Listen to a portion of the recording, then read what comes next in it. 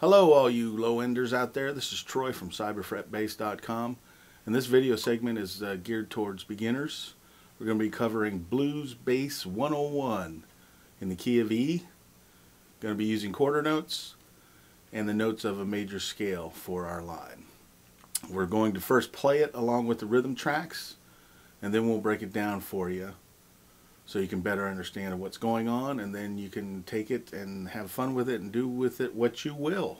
So uh, let's get to grooving.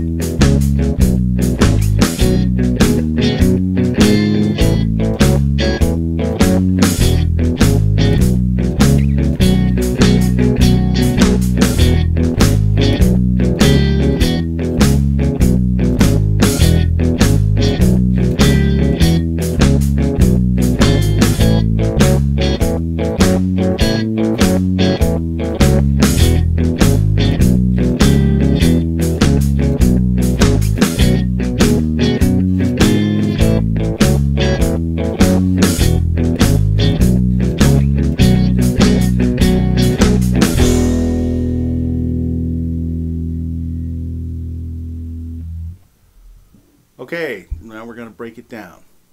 So the first note that we played was an E, and that will be your fourth string, the closest one to your face. Open, meaning not playing any frets. That's the E. The next note is a G sharp. It's played on the fourth fret with your third finger. The next note is a B, played on the second fret of the A string with your first finger.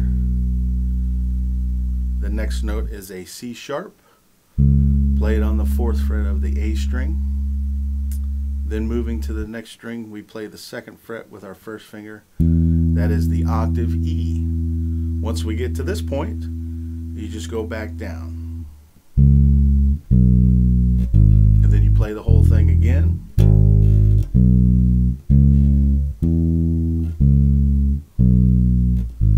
So when you get to this point, the pattern doesn't change, but the strings that we play it on does. So instead of starting on the E, we start on the A now, which is the third string. Play it open. Then play the fourth fret of the A string with your third finger. That's the C sharp. Move to the next string D, second fret, first finger. That's the E. New note. Fourth fret of the D string. That is a F sharp. Then we go to the next string, which is a G, and play the second fret with your first finger. That is the octave A. Same principle. Once we get to this point, you go back down.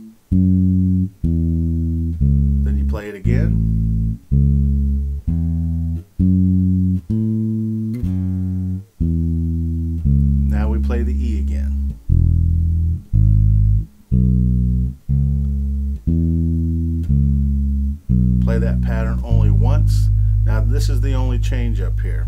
We shift our hand position, move our middle finger to the second fret of the A string, play the B with our middle finger, then we play the first fret of the D string with our first finger, that's the D sharp, then we play that fourth fret of the D string with our pinky, that's the F sharp of course, and then we play the first fret of the G string with our first finger. That's a G sharp.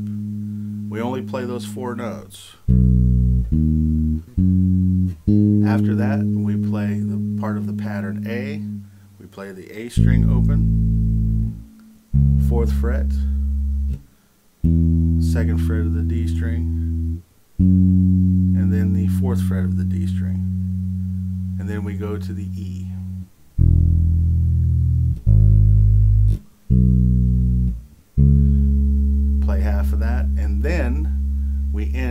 four Bs. One, two, and then you start over.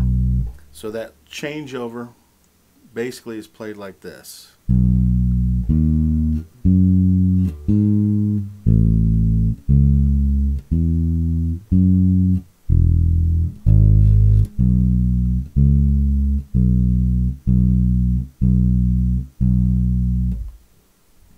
Okay. So go out and have some fun. Remember, that's very simple, but these are the building blocks that we, we will be using for things later to come. So have fun and stay groovy.